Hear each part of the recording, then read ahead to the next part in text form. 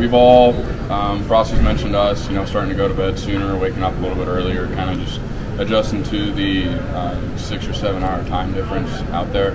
Uh, you know, that's going to be the biggest part. I think about the trip is, you know, getting your sleep right.